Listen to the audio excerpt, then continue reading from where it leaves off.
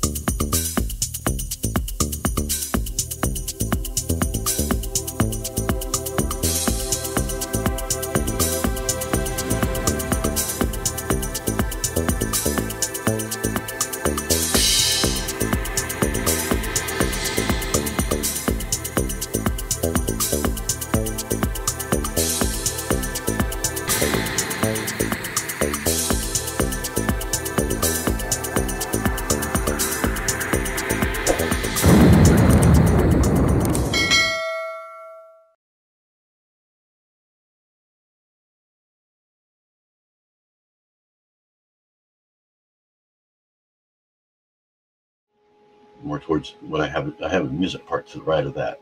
It'll go towards the music part. I mentioned last night about Lego separated. Oh yeah, yeah, yeah. Thank you. I can I can show you about. That's what this is right here. The Lego separator. You see, it's not sharp, but it kind of it can get sharp if you. I guess if you go this way, but they don't tend to. This one here has a couple of dents in it from you know prying Lego up. But um, this is what they look like. You can usually go to like um, a Lego store or uh, Bricks Minifigs or one of those used like Lego places. They'll usually just give you one. They usually won't charge you for them. If they do, they're only like a buck, if that. And so they look like a little guy. I like to put eyes on here, a couple eyes on here. I have I have it on my um my uh the end of my intro. He kind of comes up and looks around so it's kind of the same. It's the same exact thing. But these are what they look like. Generally, it's the orange ones. They also have green ones. Also, these are kind of kind of rare, not really rare. And they have a very rare pink one. Which I've that one's I've never ever seen, not in real life anyway. I do have a thing, but let me show you how you do this. Yeah, I got like I said, I got. I just got. I just sent one out today actually to um my my last uh Lego winner so, little secret there. Uh, let me see if I can get these out here. I got a bunch of junk in here too. Like I said, I got tons of them. I got some batteries in there too, but I got a whole bunch of them, so I'm just kind of giving them out. You know, most of them are, are brand new. I mean, you get them pretty much with any big set, like uh, Star. At least most Star Wars sets have them. Um, the larger sets, pretty much if it's about thirty dollars more, they usually come with one um, on any set. Modelers, they always come with them.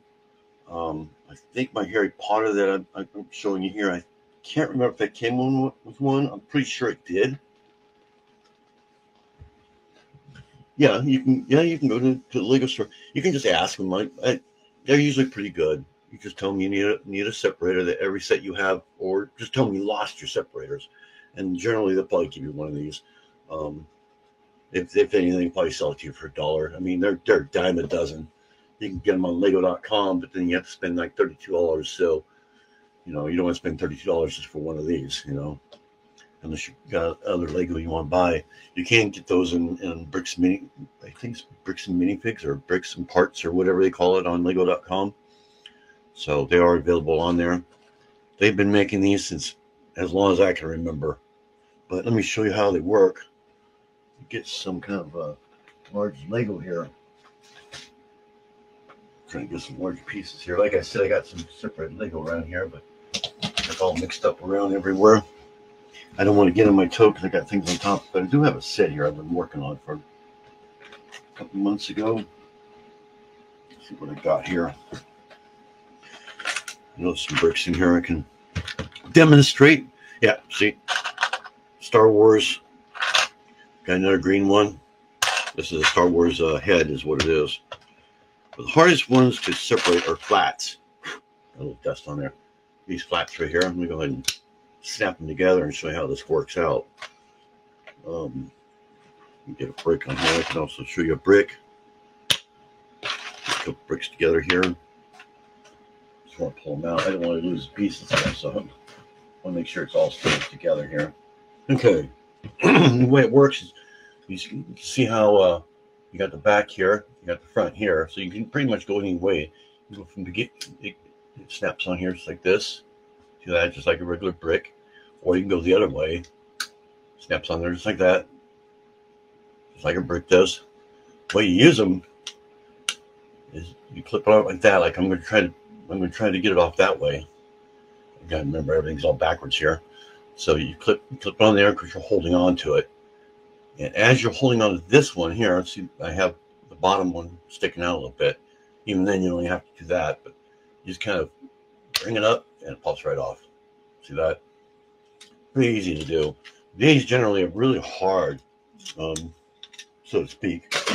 When you have bricks together, especially when they're lined up like that, you know, you can. That's why flats are easy because you can't just grab them. These here you can pretty much grab, but let me show you how works more. Just comes right off.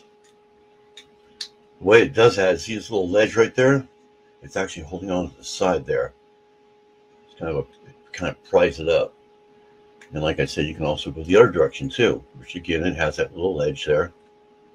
If you want to go the other direction, you just pry down. See that? So that that's how those work. Pretty useful to have one of those, especially. Here's one example here. This is probably what you're talking about. Little, little tiny pieces like this. It's almost impossible to grab when it's like that. You, are trying to figure out. Well, I, I got, I can only hold right there, but how am I going to get that guy off? The top is, you know, it's underneath. Well, that's when you go underneath like this, bottom way, and you just pry up, it comes right off. But yeah, you can't grab those with your fingers very easily because they're so small. So it works pretty much everywhere. I have had times where it was just almost impossible to get it off.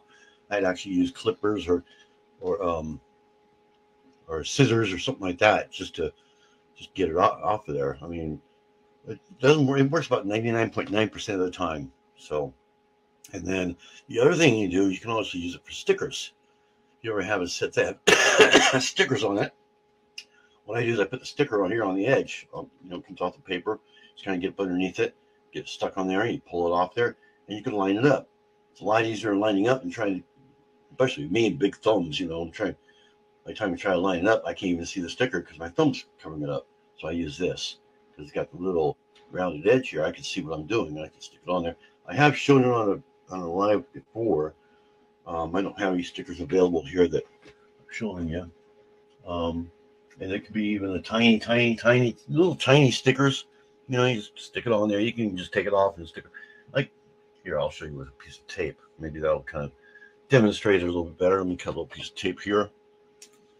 I got some um, black tape here. Just imagine this is a little tiny sticker. We're trying to line up on something. Try to get it as straight as I can here.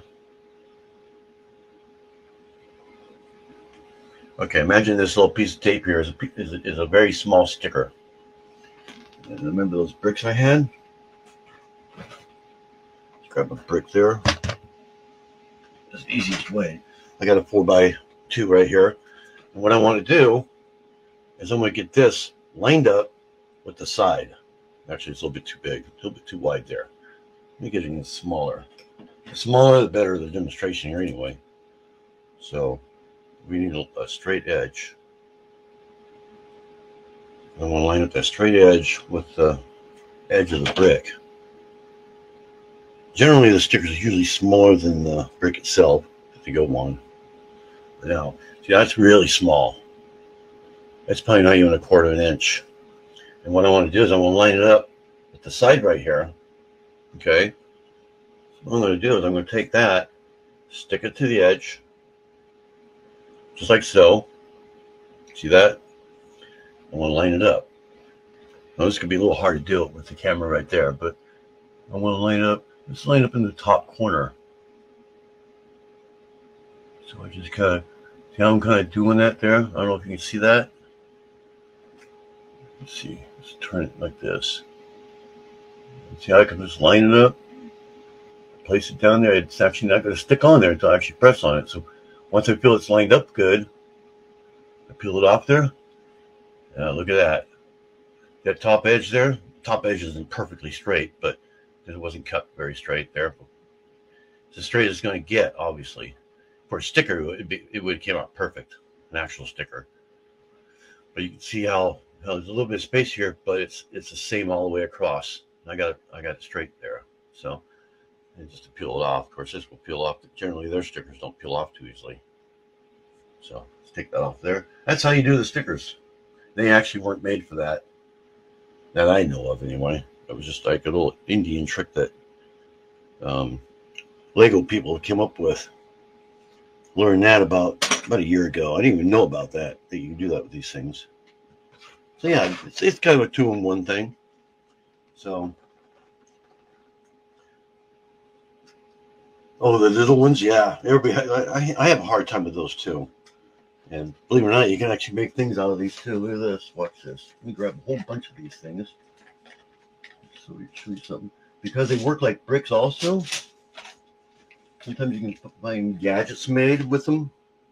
I got like about six of them here. You can actually you can hook them together. So you can get a little creative with these also. Say I can stack them up. That's what I kind of do with storage. I store them a little bit. See that? I kind of put a bunch of them together. And uh, a lot of the, what are they called? Marble uh, machines use these. Park here and put the rest in here. A lot of marble marble machines use them because of this right here. It has like a little track. They'll, they'll use it as a ramp let it just let the marble go down. Um, sometimes they use them as switches because you can you can put something bendable here and have it where it just when it'll just come down like with a switch. You just press on it, it'll switch it. So they could be used for a lot of things, just like bricks. But um, yeah, the small, uh, like the two by ones, uh, uh, plates, the same one as the one was on top of that one. Two of those stuck together are virtually impossible to get off.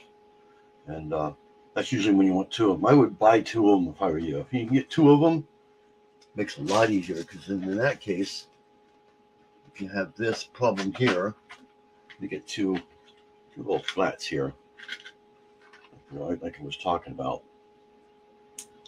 Now, this is probably the hardest thing you can ever find. This is not a brick. This is actually two one by twos put together, top on top. There's no way anybody can grab that with their fingers. But even this, I can't even grab that if I wanted to. I couldn't grab that to, to take that off there. You know, it would take a lot of prying and, you know, see, I just can't, I can't do it. I, there's no way I'd ever get that off there without putting my fingernail and trying to separate it.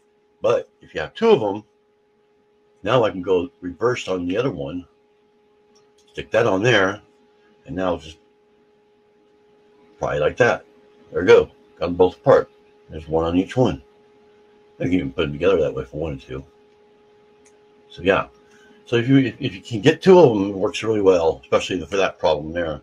That's usually about the only one that you actually need two for. So it might be worth it to go ahead and get two of them. So stick one in there. Please subscribe and hit that bell to be notified of videos I post. Thanks for watching.